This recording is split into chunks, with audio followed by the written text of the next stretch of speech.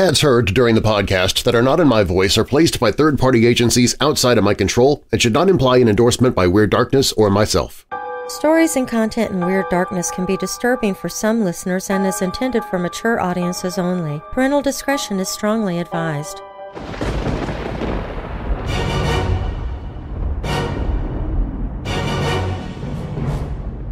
Welcome, Weirdos! I'm Darren Marlar, and this is Weird Darkness. Here you'll find stories of the paranormal, supernatural, legends, lore, the strange and bizarre, crime, conspiracy, mysterious, macabre, unsolved, and unexplained. Coming up in this episode… The Phaistos disk was discovered in 1903 by Italian archaeologists in southern Crete. Since then, the disk has remained a mystery as no one has been able to decipher the writings upon it, nor who made the object, what it was used for, and even if it's a genuine archaeological discovery or a clever fake. Usually, you learn that a place is haunted simply because people say it is. It's common knowledge around the town or neighborhood. But when the government of your country says a place is haunted, you'd better danged well listen. Such is the case with India's Bhangarh Fort. At the end of 1894, French Army Captain Alfred Dreyfus, a graduate of the École Polytechnique and a Jew of the Alsatian origin, was accused of handing secret documents to the Imperial German military. After a closed trial, he was found guilty of treason and sentenced to life imprisonment on the dreaded Devil's Island. But that's just the beginning of the story that later became known as the Dreyfus Affair. We've all heard of the power of the mind. It's been shown to be beneficial in the treatment of pain. Some well-trained individuals can use their mind to slow their rate of respiration, to bring their heartbeat down to almost nothing with no long-term ill effects. But what about controlling things outside of your own body? Is the mind that powerful? Some believe so, and they also believe it's one possible explanation for hauntings. Is it possible that our history books are wrong and that humans actually did walk with dinosaurs? It might not be as far-fetched as it sounds, especially when you look at tales of knights, dragons, and T-Rex DNA. But first, we'll have a short tale about Joseph Naples, who chose the macabre career of being a gravedigger, but only because it made it easier for him to be a grave robber and a body snatcher. If you're new here, welcome to the show.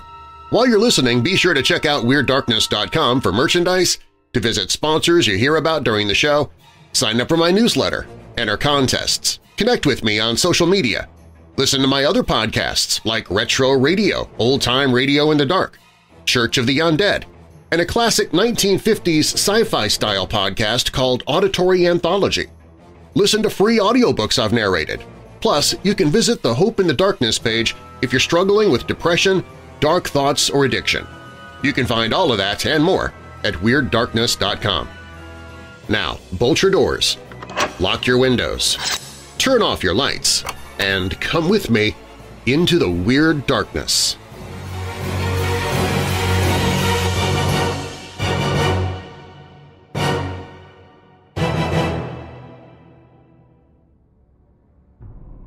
In 1802, at the Sessions House in Clerkenwell, Joseph Naples stood quietly at the bar and listened to the case that had been brought against him.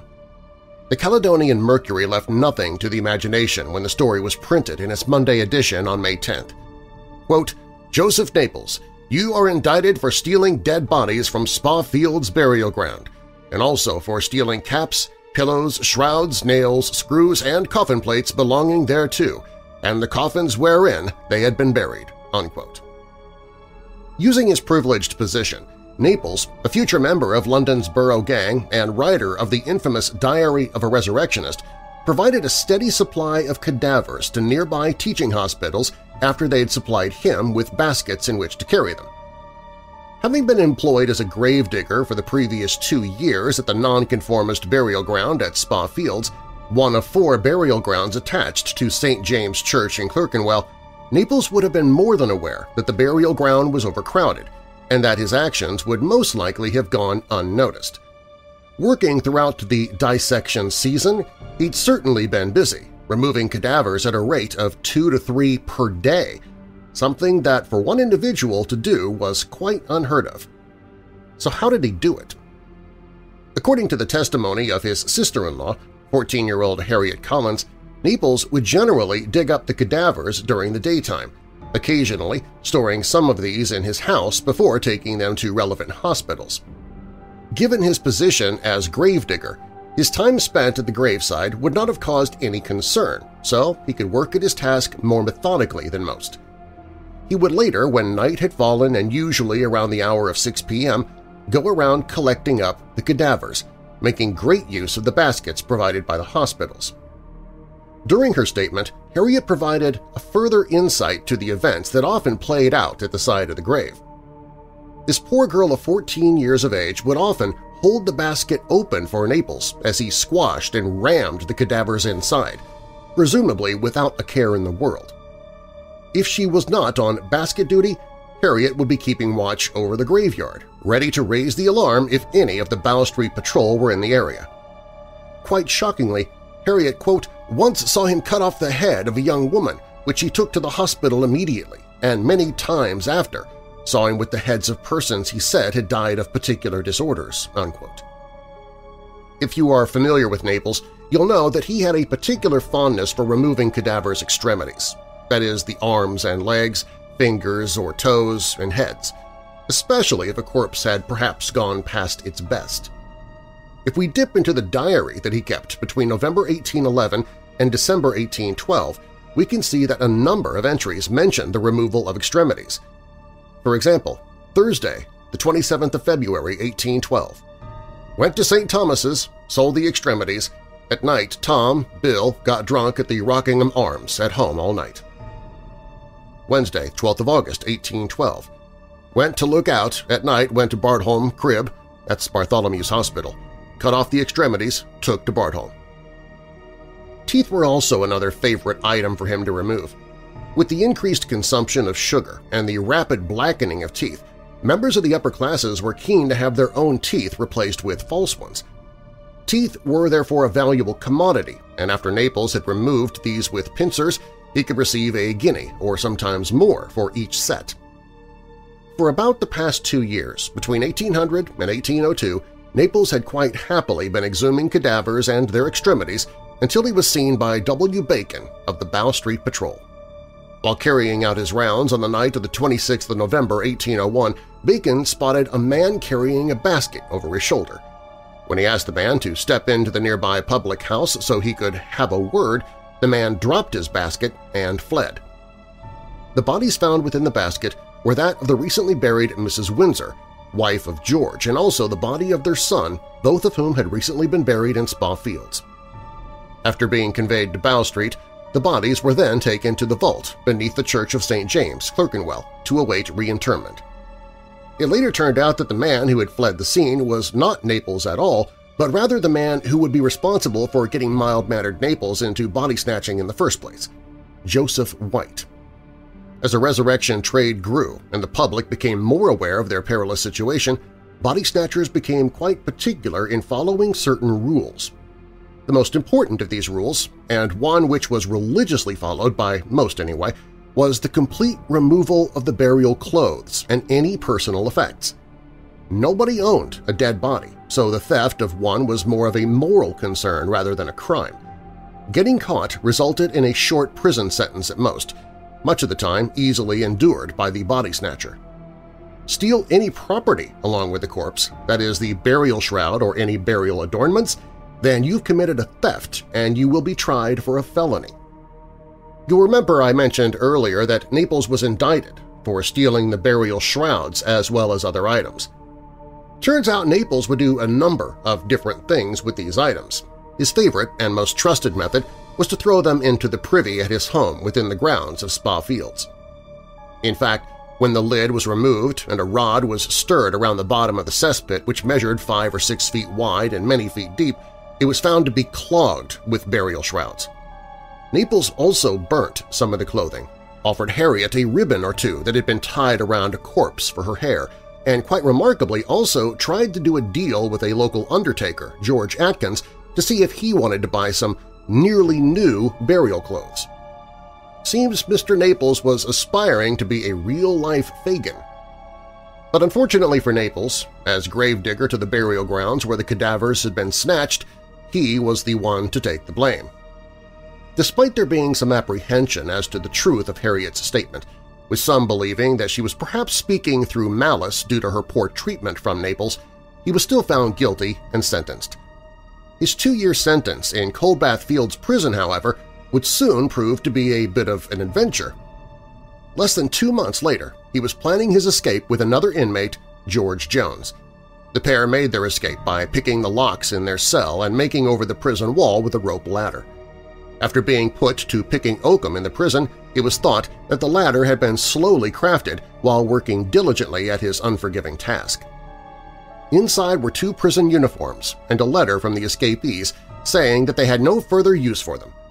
Freedom was short-lived, however, for rival body snatcher Ben Crouch, leader of the Borough Gang, told authorities of his whereabouts, and he was recaptured and sent back to serve the rest of his sentence.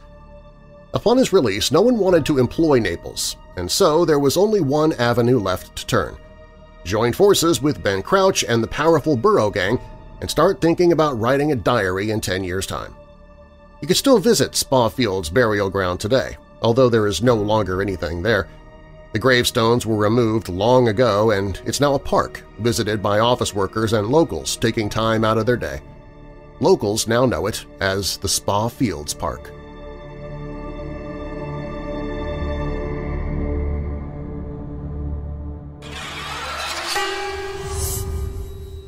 Coming up, usually you learn that a place is haunted simply because people say it is. It's common knowledge around the town or neighborhood. But when the government of your country says that a place is haunted, you'd better danged well listen, and such is the case with India's Bhangarh Fort. But first, the Phaistos disk was discovered in 1903 by Italian archaeologists in southern Crete. Since then, the disk has remained a mystery, as no one's been able to decipher the writings upon it, nor who made the object, what it was used for, and even if it's a genuine archaeological discovery or a clever fake. That story is up next on Weird Darkness.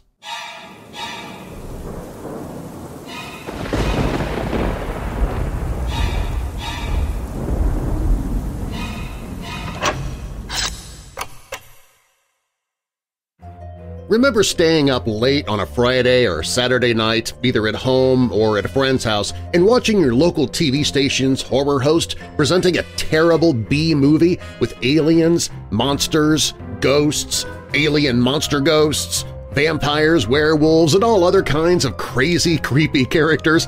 Those were fun nights, weren't they? Well, that's what the Weirdo Watch Party page at WeirdDarkness.com has to offer, all day, every day, thanks to our friends at the Monster Channel. You can visit WeirdDarkness.com slash watchparty right after listening to this episode and immediately be entertained by a horror host and horrible movie, or should I say horrible movie. And not only can you watch the B-movies and horror hosts streaming there 24-7, but once a month we all gather together to watch a movie and talk about it in the chat room on that same page. Get your frights and funnies on the Weirdo Watch Party page at WeirdDarkness.com.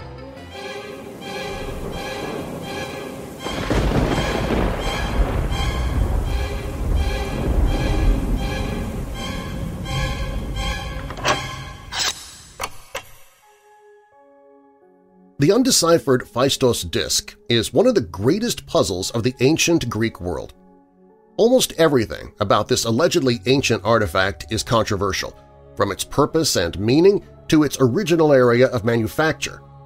The mysterious clay tablet was found on the Greek island of Crete at the ancient Minoan palace site of Phaistos. But who made the object? What was it used for?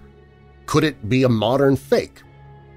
The sophisticated Bronze Age civilization of the Minoans reached its height in the period around 1700 BC and began to decline about three centuries later, when many of their palaces were destroyed. The Phaistos disk was discovered in 1903 by Italian archaeologists excavating at the ruined Minoan palace of Phaistos in southern Crete. The archaeologists came upon the strange object in a basement room in the northeast apartments of the ancient palace, together with a clay tablet inscribed in Linear A, an undeciphered script used on Crete until around 1450 BC, and pieces of Neopalatial pottery, 1700 to 1600 BC. The ancient Minoan palace had collapsed during an earthquake, which had been linked by some researchers to the massive volcanic eruption on the nearby Aegean island of Thera, modern-day Santorini, in 1628 BC. The precise age of the Phaistos disk is disputed.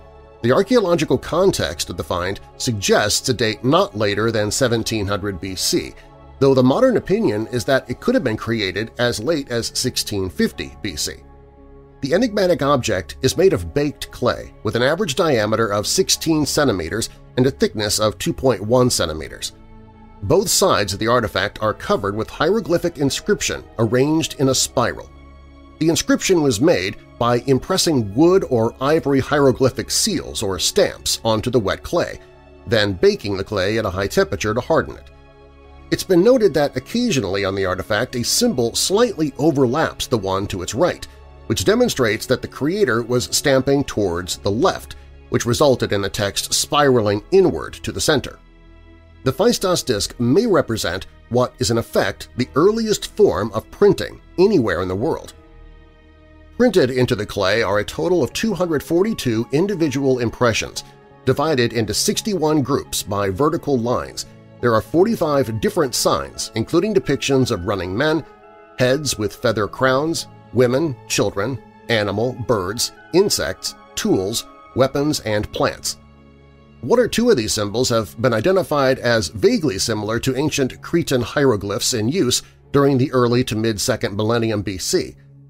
What's so puzzling about the artifact is why the Minoan civilization would use a primitive pictograph language at the same time as Linear A, a much more advanced script which was already in use. Perhaps the primitive nature of the script on the artifact points to a much earlier date for the object than is presently accepted. However, this is not necessarily the case, as archaic forms of writing often survive into much later periods, usually in the form of sacred or religious texts, as was the case in ancient Egypt. Furthermore, the text on the Phaistos disk is unique. No other examples of the script stamped on it have ever been located, this uniqueness and the fact that the text is fairly brief makes it extremely difficult to hope to translate even a small part of it. That the inscription was made using a set of stamps would imply that there was a large-scale production of objects impressed with this script, which for one reason or another have not yet surfaced in archaeological investigations. A difficulty with understanding the artifact is that no one knows exactly how the symbols on it are meant to be interpreted, does the disc contain a hieroglyphic inscription or pictograms meant to be taken at face value? Although some images of the Phaistos disc are pictures of familiar objects, trying to understand these literally does not help with obtaining any coherent meaning from the disc. Many linguists believe the text is a series of written signs representing syllables, known as syllabary, while others assume it's a syllabary combined with pictorial symbols used to express a concept or idea, known as ideograms. The combination of syllabary and ideograms would make it comparable to all known syllabaries of ancient Greece and the ancient Near East, including Minoan Linear B, hieroglyphic writing, and cuneiform. The latter consists of pictograms drawn on clay tablets with a pen made from a sharpened reed and originated from ancient Sumeria, or modern southeastern Iraq, in the late 4th millennium BC. The Palette of Narmer is an interesting example of this kind of text. It was discovered in Nekhen, or modern Hierakonpolis, the ancient pre-dynastic capital of Egypt, by English archaeologist James E. Quibell in 1894. It dates roughly to 3200 BC and includes some of the earliest hieroglyphic inscriptions ever discovered. The Palette of Narmer uses a combination of hieroglyphs and pictographic symbols which are to be taken literally to mean what they depict, indicating a possible parallel with the disk of Phaistos in the sense that it could be interpreted as containing a mixture of ancient Cretan hieroglyphs and pictographs. The tremendous difficulty of translation without further examples of the supposedly ancient script has not dissuaded both scholars and amateurs from attempting the task. In fact, the unique nature of the text has added to its mystique and enthralled rather than repelled investigators. The distinctiveness of the disk has, unfortunately, meant there have been a number of highly imaginative and unsubstantiated translations and interpretations of the pictographic text on the disk. Perhaps the most extreme among them is that the object contains a message left thousands of years ago by extraterrestrial visitors to the Earth, or an ancient Atlantean civilization for future generations to discover. The question of what exactly the message contains or why it was written in such a primitive script by supposedly advanced aliens or Atlanteans has, of course, never been answered. Over the last 100 years, numerous attempts have been made to try and identify the language on the disk. In 1975, Jean Foucault published a translation, maintaining that the language was a pre-Greek syllabic writing of a culture he identifies as Proto-Ionians, a people with closer ties to ancient Troy than to Crete. According to Foucault's decipherment, the Phaistos disk describes the career and funeral of Proto-Ionian king Arion, his translation has, however, not been accepted as sound by most scholars on the subject. In 2000, Greek author Effie Polygiannakis published, in Greek only at the moment, a book entitled The Phaistos Disk Speaks in Greek, claiming that the inscription on the disk was written in the syllabic writing system of an ancient Greek dialect. Dr. Stephen Fisher's Evidence of Hellenic Dialect in the Phaistos Disk from 1988 also identifies the text as syllabic writing in a Greek dialect. One clue to the meaning of the object is the context in which it was found. The fact that the Phaistos disk was unearthed in an underground temple depository has persuaded some researchers of its religious significance, suggesting that the text was possibly an ancient sacred hymn or ritual. Several image groups in the text are repeated, which would suggest a refrain, and perhaps each side of the disk represents a verse from a song, hymn, or ritual incantation. In fact, Sir Arthur Evans, excavator of Knossos, the ceremonial and political center of Minoan civilization, concluded that the disc contained part of the text of a sacred song. The original discoverer of the disc, Italian archaeologist Luigi Pernier, also believed it had ritual significance. Nevertheless, though, the Phaistos disc was found at a Minoan palace site. There's no absolute proof it originated in Crete at all, it may have been imported from just about anywhere in the Mediterranean or even from the Near East. While a religious-slash-ritual explanation is certainly a possibility, it's only one of numerous so far suggested for the Phaistos disk. Theories include an ancient adventure story, an ancient calendar, a call to arms, a spell written in Hittite, a language used in north-central Turkey from 1600 to 1100 BC. Maybe it's a legal document, a farmer's almanac, a schedule for palace activities, even a game board. In his 1980 book, The Phaistos Disk, Hieroglyphic Greek with Euclidean Dimensions, German author Anders Collins claimed to have deciphered the mysterious script and maintained that the language of the disk was Greek and that it contains the proof of a geometric theorem. However, Collins' translation has found little support among archaeologists and linguists. In his 1999 book, The Bronze Age Computer Disk, Author Alan Butler postulated that the Phaistos disk functioned as an incredibly accurate astronomical calendar or calculating device. However, there's no explicit evidence that the Minoans had any detailed knowledge of astronomy, and even the ancient Egyptians' comprehension of astronomy at the time was not detailed enough to support Butler's hypothesis. Not a single example of the stamped or printed method of writing of the Phaistos disk has been found in the numerous excavations carried out on Crete over the past 100 years or so. This complete lack of comparative material has suggested to some that this disk is a forgery. Something that adds to the feeling of unease about the disc's genuineness is that specialists in Mediterranean and Near Eastern archaeology seem unwilling to get involved in the debate about the artifact. Dr. Jerome M. Eisenberg of Minerva magazine has suggested the disk was created by an expert forger soon before its discovery. Eisenberg states that he believes the object was manufactured to enhance the reputation of Dr. Pernier, who wished to compete with the incredible discoveries of fellow archaeologists on Crete, Federico Halbherr at Gortyna, and Sir Arthur Evans at Knossos. Sponsorship to fund Pernier's continuing excavations at the Minoan Palace site may also have been an issue. A thermoluminescence dating test would certainly prove whether the object was made during the last hundred years or did in fact date to the Minoan period, but so far the Greek authorities have been unwilling to submit the disk to such a test. Consequently, the possibility that the object is a forgery made in the early 1900s using the limited knowledge of the Minoan culture available at the time is perhaps a far-fetched but by no means out of the question scenario. In connection with the hoax theory, an intriguing find was made in 1992 in the basement of a house in North Ossetia, Russia. It was a fragment of a clay disc smaller in size than the Phaistos disc, but apparently a copy of it, though the symbols on this disc were incised rather than stamped. There were rumors of a hoax before the disc disappeared mysteriously a few years later, and nothing has been heard since. Despite the apparent thanklessness of the task, many researchers throughout the world still work away diligently attempting to decipher the disc.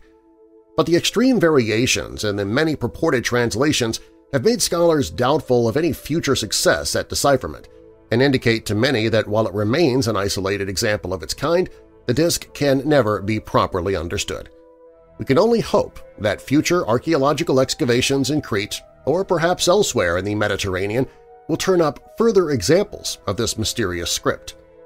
Until then, the Phaistos disc, now on display in the Archaeological Museum of Heraklion in Crete, will remain a unique enigma.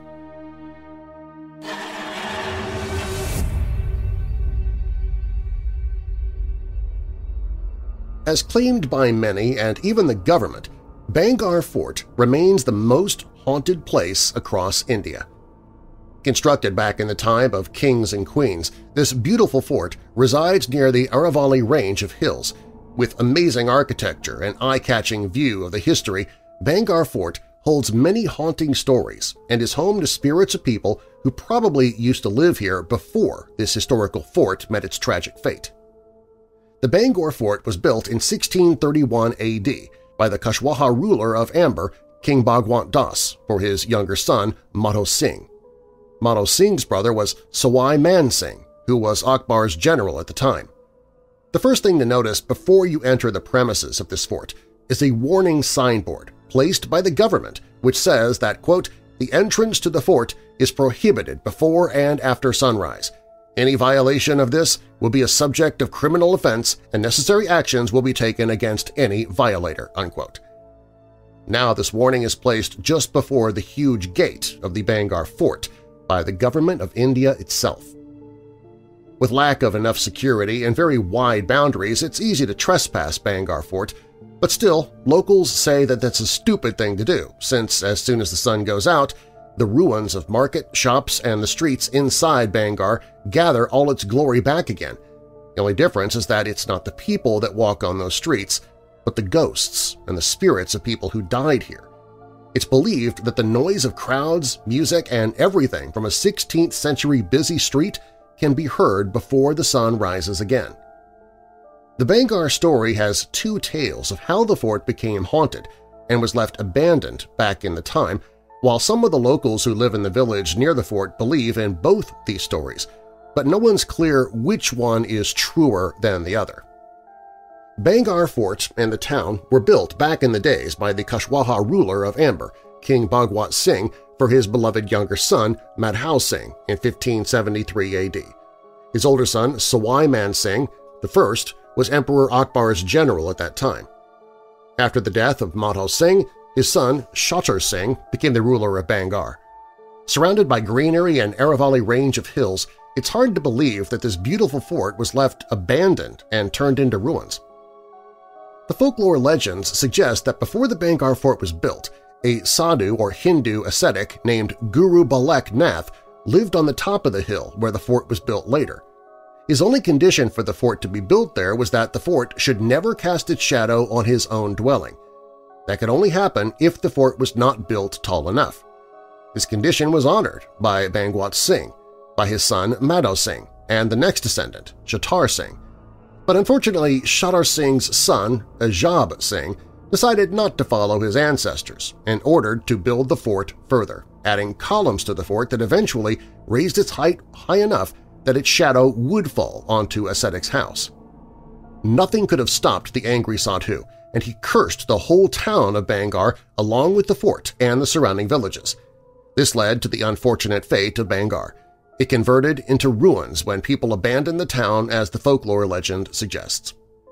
It's believed that the Bhangarh fort was four stories tall, and after Ajab Singh's order it was built up to seven stories. But after the curse, the fort crumbled, and later only four stories remained above the grounds. Everything above it turned into ruins. Interestingly, the only establishment which remains intact and with a roof over it is the ascetic's house, which is also his tomb now. There's another story that's even more interesting, although similar to the first one. Bhangarh was cursed, but differently, which led the town to crumble into ruins and never be rebuilt. According to this story, it all started with the princess of Bhangarh, Ratnavati, daughter of Chhatar Singh. She was so beautiful that the tales of her beauty spread far and wide, and she received a number of marriage proposals. A priest named Sinjia also fell in love with Ratnavati, but the priest was not someone who worshipped God. He was the one involved in satanic rituals and a practitioner of black magic. Knowing he didn't stand a chance to win the princess's heart, he decided to use black magic for his intentions. He followed Ratnavati into the market and tried to give her a bottle of perfume which he cast a spell on, since he knew Ratnavati was fond of scents. But she found out about his spell on it and angrily threw it onto a stone, which transformed into a boulder due to the effect of the spell, and it rolled onto Sinjia, crushing him to death. But before he died, he cursed Ratnavati, her people, and the whole of Bhangarh. The fort was doomed within no time. The curse made Bhangarh fall onto the grounds. No more establishments could hold a roof over it. People died, and whoever survived left the town. Nobody knows what happened to Ratnavati after the curse, or if she survived it or not, and for how long, but it's believed that the ghost of Ratnavati, Sinjia, and the people who died here now roam inside the ruins of Bhangarh.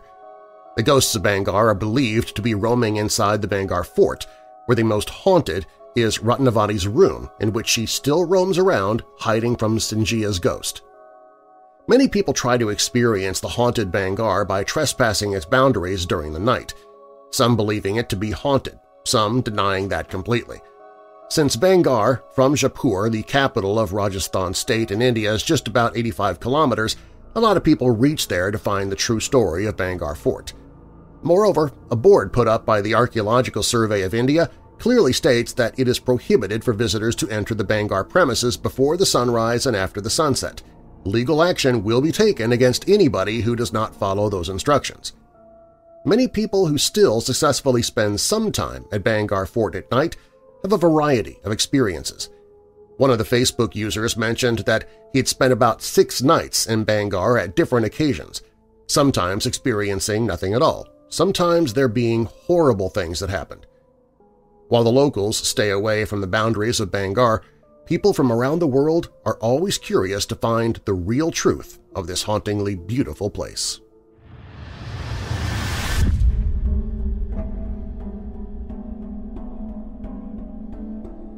When Weird Darkness returns, at the end of 1894, French Army Captain Alfred Dreyfus, a graduate of the École Polytechnique and a Jew of Alsatian origin, was accused of handing secret documents to the Imperial German military.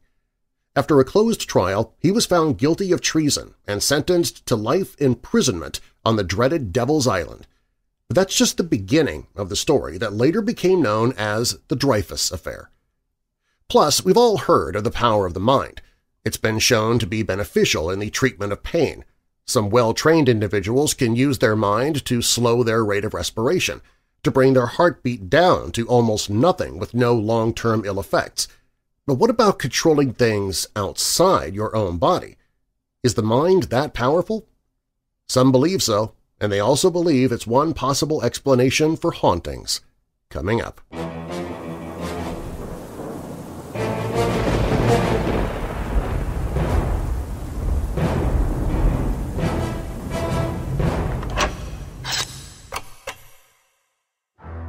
No matter the time of day or season, Sometimes you need to find a way to rid yourself of those ghostly chills that bring raised hairs and goosebumps to your skin. Other times you're looking for those ghostly chills. Either way, it sounds like you need a mug of Weird Dark Roast coffee. Weird Dark Roast coffee has deep notes of cocoa, caramel, and a touch of sinister sweetness that'll send shivers down your taste buds. This is an exclusive coffee that I selected specifically for you, my weirdo family. Weird Dark Roast is not available in stores, coffee houses, mad scientist labs, or even the dark web, but you can find it at WeirdDarkness.com slash coffee. Weird Dark Roast Coffee, fresh roasted to order so it's as fresh as it can be when it lands on your doorstep and knocks three times. Grab yours now at WeirdDarkness.com slash coffee. That's WeirdDarkness.com slash coffee. Weird Dark Roast Coffee does not actually knock on your door because it doesn't have arms or hands, so if you hear knocks at the door and no one answers when you ask who it is, it's probably paranormal and you should just leave the door shut and locked.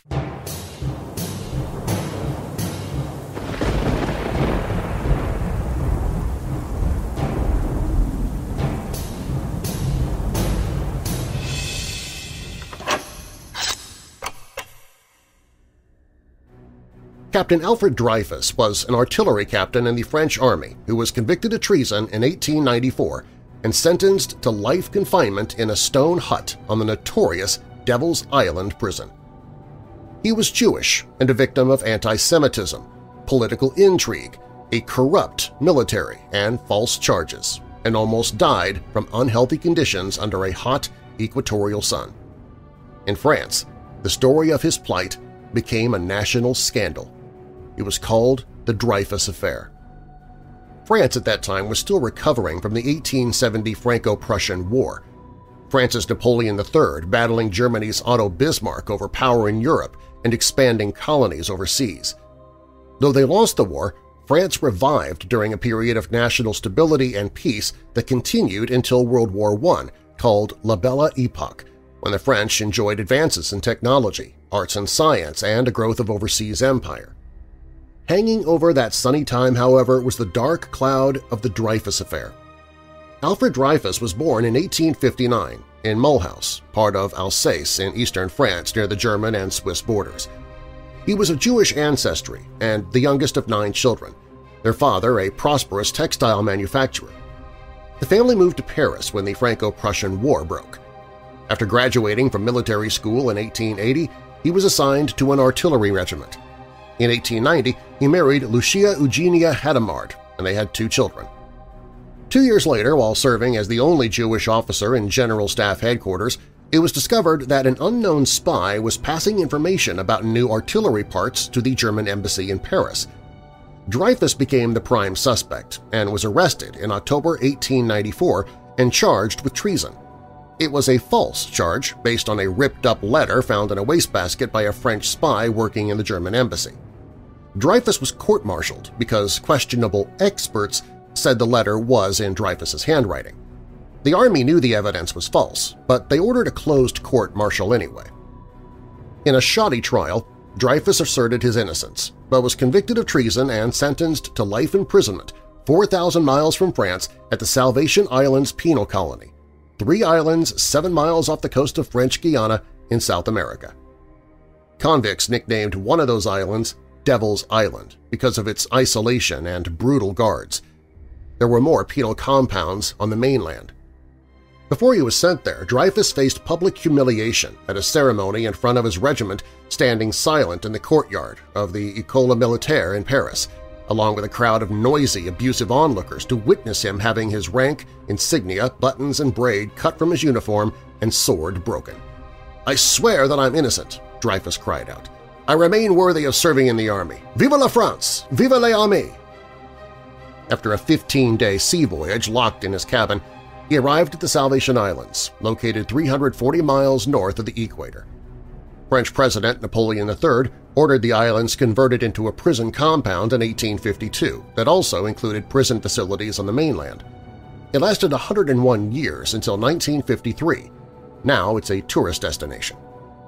In establishing the prison, Napoleon III said, 6,000 condemned men in our prisons weigh heavily on our budget, becoming increasingly depraved and constantly menacing our society. I think it's possible to make the sentence of forced labor more effective, more moralizing, less expensive, and more humane by using it to further the progress of French colonization. Originally called the Cayenne Penal Colony, it was named after the capital city of French Guiana. Most of the prisoners never saw France again. But Dreyfus would. It's estimated that 80,000 prisoners suffered and died there. Most of the prisoners lived on Ile Royale or at mainland work camps, as well as a Saint-Laurent-du-Maroni prison 125 miles northwest of Cayenne. Dreyfus spent his month at a reception and processing center on Ile Royale before being transferred to Devil's Island as its only prisoner and was confined to a 13 by 13-foot stone hut. Devil's Island was once a leper colony, later converted to an island prison for political prisoners. Living conditions were primitive and the guards treated him harshly, but it was better than the horrendous punishment facility on St. Joseph Island where inmates were isolated in tiny, totally dark cells and not allowed to speak to one another for long periods of time. Confinement there was a virtual death sentence from violence, malnutrition, or disease. Dreyfus was allowed to write on paper, numbered and signed, one report said. He underwent censorship by the commandant even when he received mail from his wife Lucia, whereby they encouraged each other. On September 6, 1896, the conditions of life for Dreyfus worsened again. He was chained, double-looped, forcing him to stay in bed motionless with his ankles shackled. This measure was the result of false information of his escape revealed by a British newspaper. For two long months, Dreyfus was plunged into deep despair, convinced that his life would end on this remote island. Escape from the islands was almost impossible because of sharks. Meanwhile, back in France, his brother Mathia began a crusade to have him freed. The Dreyfus affair had its supporters and detractors. Dreyfus allies, the Dreyfusards, called the whole affair a travesty of justice and demanded he be released and exonerated. They believed in individual rights, equality, and citizenship, including citizenship for Jews. Among those supporters were many French intellectuals and artists, including best-selling author and journalist Anatole France, actress Sarah Bernhardt, future French Prime Minister Georges Clemenceau, artists Pissarro and Monet, and novelists Marcel Proust and Émile Zola. Tirelessly, supporters continued to dig for exculpatory evidence and rally public support while facing an unsympathetic press and corrupt judges pressured by the military. But it would be a scathing letter entitled J'accuse, written by Zola and published in Clemenceau's newspaper L'Aurore, that would stir the French conscience and ultimately help free Alfred Dreyfus. In the letter, which was addressed to the President of the Republic, Zola exposed the Army's cover-up and corruption. Anti-Dreyfusards, including the Army and much of the anti-Semitic French public, wanted Dreyfus locked up for life. The death sentence for political offenses was no longer an option, having been abolished in 1848. Two years after Dreyfus arrived at Devil's Island, Army intelligence officer Lieutenant Colonel Georges Picquart found evidence pointing to Army Major Ferdinand Walsin Esterhazy as the real traitor. The Army rejected the evidence and immediately began a cover-up. That meant standing by the original trial's guilty verdict. By 1898, word of Esterhazy's guilt leaked out, though, forcing the Army to bring him to trial. He was found not guilty in a secret trial and promptly fled the country. That enraged Zola, who then wrote his famous J'accuse. Zola was brought to trial in a Parisian court on a libel charge, which he welcomed because it opened the door for him to tell the public the whole Dreyfus affair story. He was convicted but escaped to England, returning later. Zola's J'accuse letter fueled growing public support for Dreyfus and put pressure on the Army to reopen the case. In 1899, Dreyfus got his wish, but the second court-martial trial again found him guilty of treason, but, quote, with extenuating circumstances, unquote, and they sentenced him to 10 years imprisonment and a further degradation after more evidence shenanigans by the Army. The next day he filed for another retrial, but it never took place. He was offered a conditional pardon by the President. Exhausted by his long ordeal, he accepted it, but he retained the right to apply for a complete acquittal. At the age of 49, he was once again a free man. Had Dreyfus refused the pardon, he would have been returned to Devil's Island, a fate that he could no longer bear. It wasn't until 1906 that he was fully exonerated and reinstated in the Army with the rank of Major.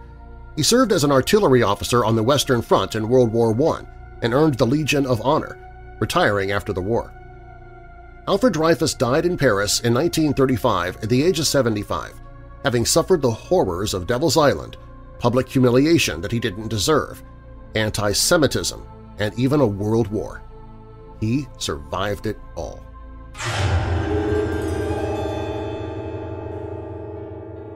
Just how powerful, weird, and magical can our minds get? I've been hunting around this theme for a while, and I'm still not sure about what the limits are.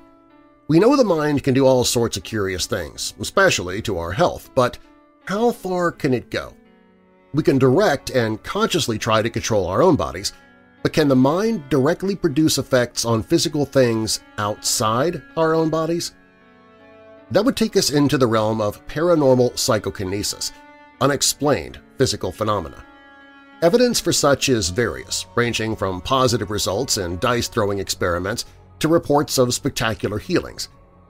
I want to single out the poltergeist or noisy spirit as a particularly interesting item on the menu of paranormality.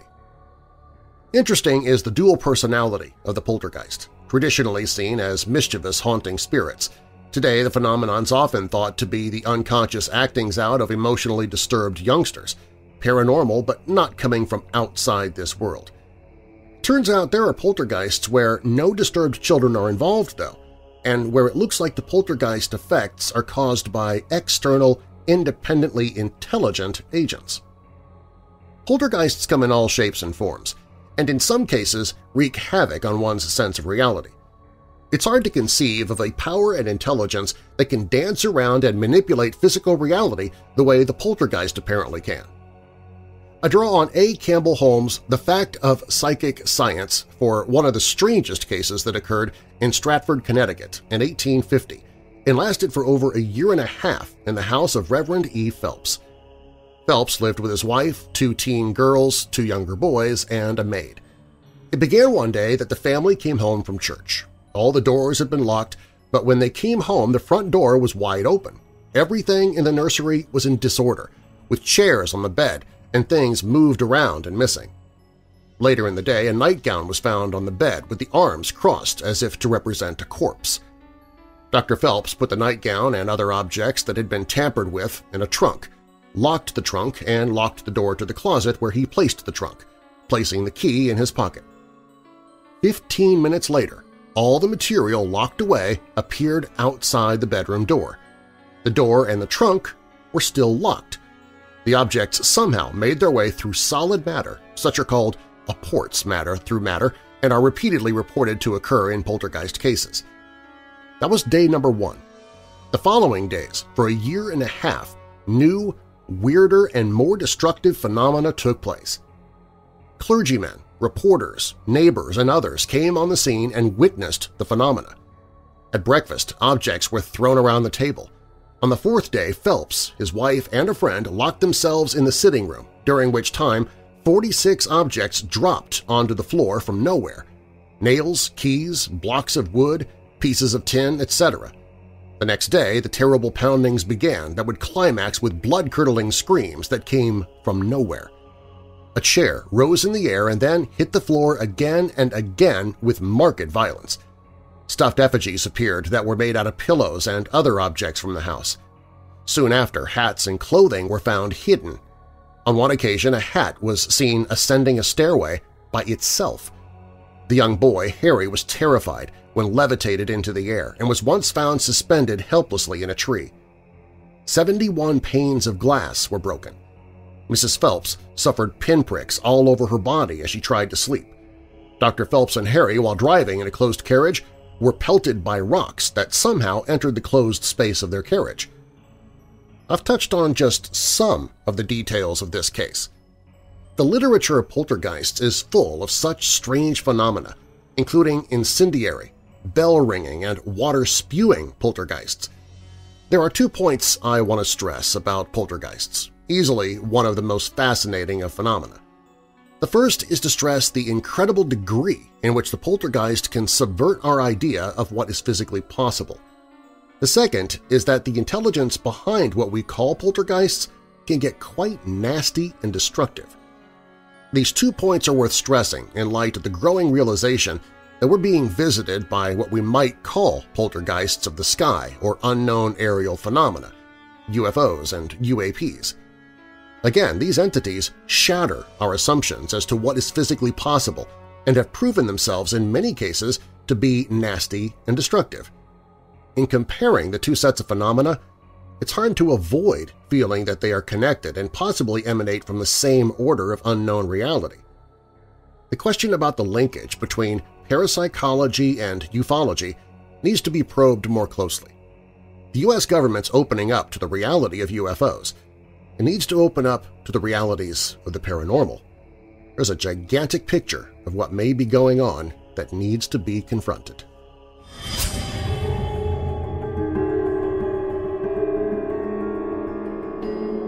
Coming up, is it possible that our history books are wrong and that humans actually did walk with dinosaurs?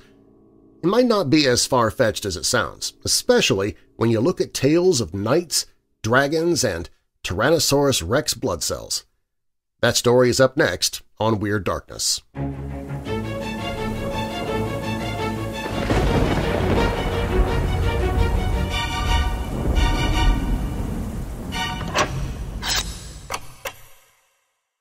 There have been monsters among us lurking in the darkest corners of America, preying on children since the first settlers arrived on our shores. They've always been with us, stalking the innocent from the days of the original colonies to the Gilded Age, the Depression, and beyond. These monsters are not the stuff of fiction. They are blood-curdlingly real, and they still walk among us, always looking for their next victim. In the chilling book Suffer the Children, Troy Taylor shines a light on the darkest tales of horror and hauntings from American history and presents a terrifying collection of dark crimes perpetrated against our most tender victims, our children. His most disturbing book yet includes nightmarish tales from the 19th century, when the good old days were never good, like The Monster of the North Wood, The Pocasset Horror, and The Girl in the Cellar, and continues into the modern day with accounts of the Cluxon Woods, America's first school massacre, Wineville chicken coop murders, Babes of Englewood, Suzanne Degnan, the Girl Scout Camp Massacre, the perfect murder of Bobby Franks, and many more. Be warned, this is not a book for the faint of heart. These are tales containing brutal, agonizing, and terrifying scenes of horror. Suffer the Children, American Horrors, Homicides, and Hauntings, Dead Men Do Tell Tale Series Book 15 by Troy Taylor.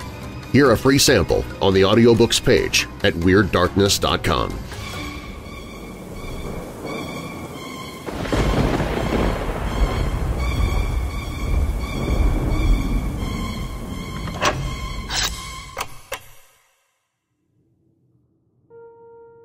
Recently, paleontologists examining Tyrannosaurus bones found remnants of red blood cells erythrocytes in the microvessels that permeate them.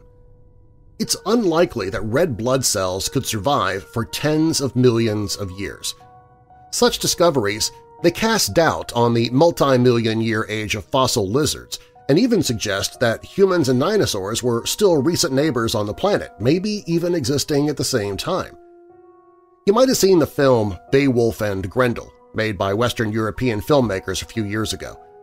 In the film, Grendel the Troll is shown as a wild man of huge height and frightening appearance, but not all scholars of the Anglo-Saxon epic of Beowulf imagine the troll that way. They pay attention to the fact, according to the description, Grendel moved silently on two powerful hind limbs, while the front ones were small, frail, and hung helplessly in the air. The creature's skin could not be pierced with a sword or a spear, Grendel's lifespan could exceed 300 years, and by the end of his life, the beast was several times the height of the man it had no trouble swallowing. And the very name of the troll, Grendel, translates as thresher. He could literally grind up the bones of his victims. Isn't that a Tyrannosaurus? Beowulf cut off Grendel's weak and clumsy front paw in close combat, after which the beast died, bleeding to death. No wonder. The Tyrannosaurus's blood pressure was very high for a normal supply of oxygen to such a massive head so high above the ground. In general, the seasonal dragon hunt was almost the main occupation of the brave Beowulf. The hero and his team paid a lot of attention to studying the structure, habits, and lifestyle of such monsters.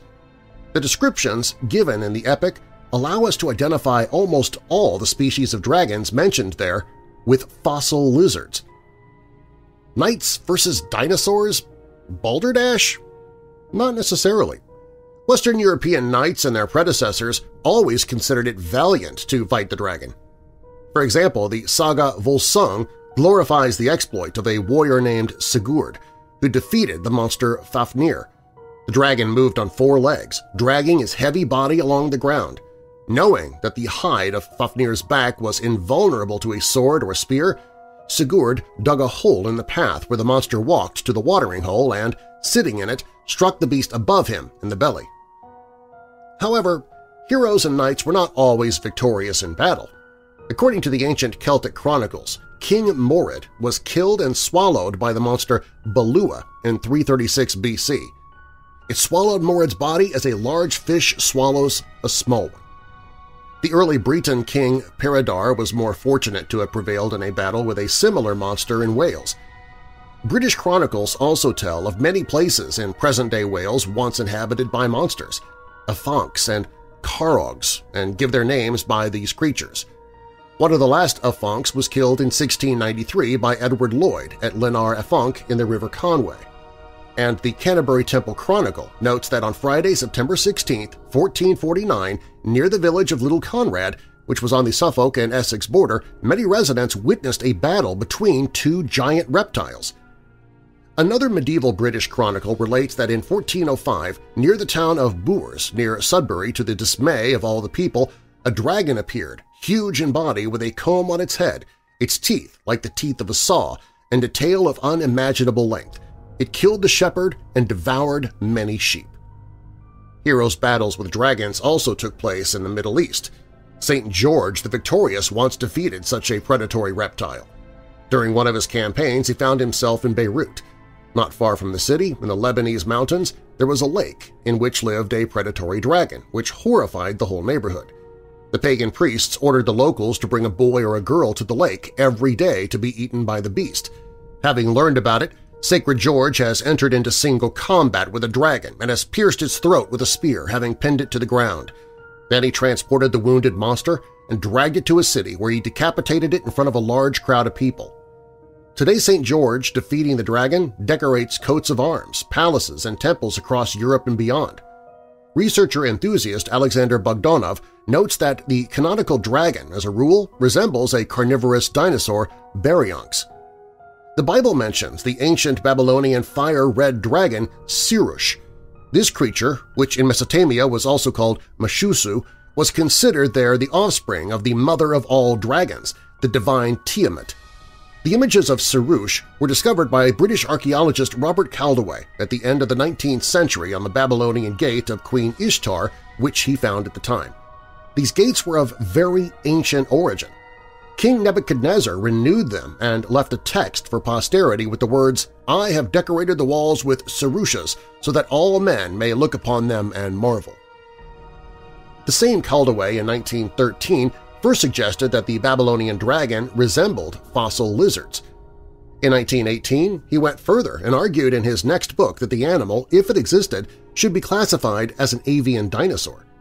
Koldewey wrote, Iguanodon, found in Cretaceous deposits in Belgium, is the closest relative of the Babylonian dragon. Images of dinosaurs, and more modern ones as well, have been found in other places. One Cambodian temple dating from around 1200 has a bas-relief depicting a stegosaurus, an ancient lizard with pointed plates along its spine. In Britain, on the tombstone of Bishop Richard Bell, who died in 1496 in Carlisle Cathedral, there is an unusual engraving depicting animals that are otherwise difficult to characterize as diplodocus. There they are alongside the usual dog, pig, fish, and bird. Needless to say, there are innumerable representations of dragons on Chinese crockery and embroidery, as well as their prevalence in medieval European heraldry.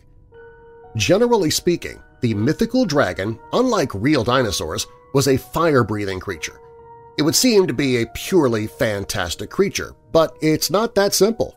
some paleontologists believe that there was some chemically active liquid, an unsaturated hydrocarbon in the head reservoir bags of dinosaurs connected to the nasopharynx by special channels.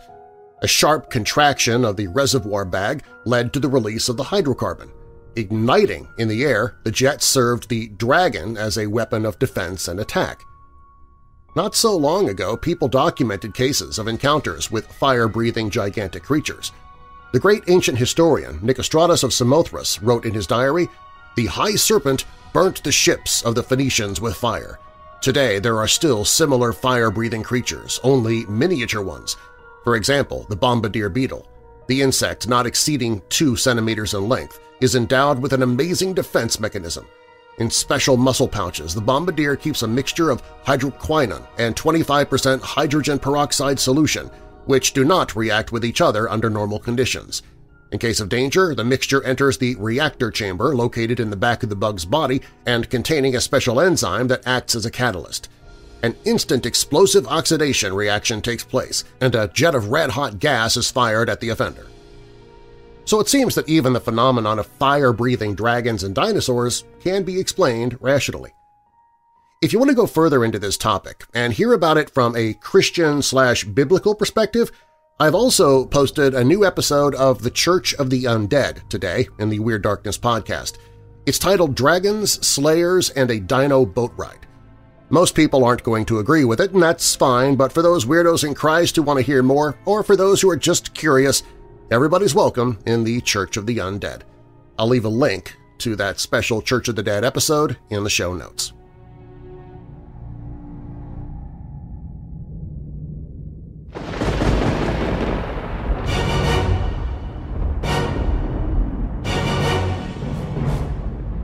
Thanks for listening. If you like the show, please share it with someone you know who loves the paranormal or strange stories, true crime, monsters, or unsolved mysteries like you do. You can email me anytime with your questions or comments at darren at WeirdDarkness.com. Darren is D-A-R-R-E-N. WeirdDarkness.com is also where you can find information on any of the sponsors you heard about during the show. Find all my social media, listen to free audiobooks I've narrated, sign up for the email newsletter, find other podcasts that I host, including Retro Radio, Old Time Radio in the Dark, Church of the Undead, and a classic 1950s sci-fi style podcast called Auditory Anthology. Also on the site, you can visit the store for Weird Darkness t-shirts, mugs, and other merchandise.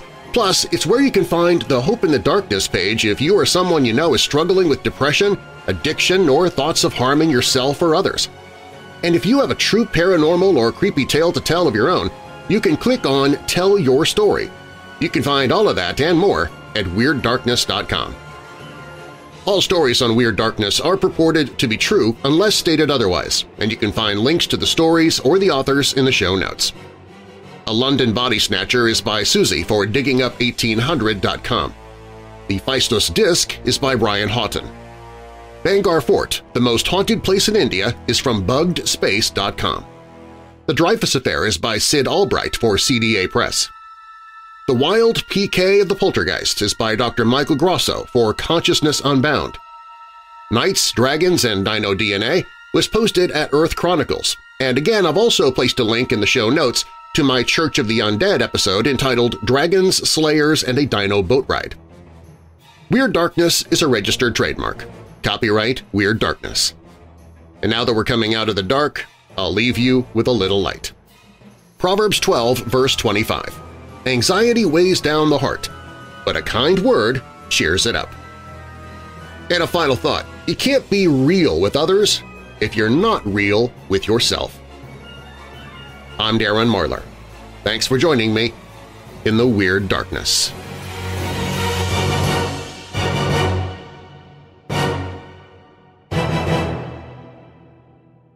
Hey Weirdos! If you're a fan of my retro radio episodes, or if you just love classic radio shows in general, you can binge-listen even more of it with my new podcast, Retro Radio – Old Time Radio in the Dark. These episodes have become so popular that I needed to create a separate podcast in order to offer more of it. Now I can post old-time radio shows seven days a week, including single episodes of dark and mysterious shows, as well as marathon episodes that are several hours in length for binge listening to a creepy and macabre program. I'll still post one episode each Sunday in my Weird Darkness podcast, but if you want more old-time radio content, visit WeirdDarkness.com slash retroradio. That's WeirdDarkness.com slash retroradio. Or look for Retro Radio, old-time radio in the dark, wherever you listen to podcasts. Hey Weirdos! Be sure to click the like button and subscribe to this channel, and click the notification bell so you don't miss future videos. I post videos seven days a week. And while you're at it, spread the darkness by sharing this video with someone you know who loves all things strange and macabre. If you want to listen to the podcast, you can find it at WeirdDarkness.com slash listen.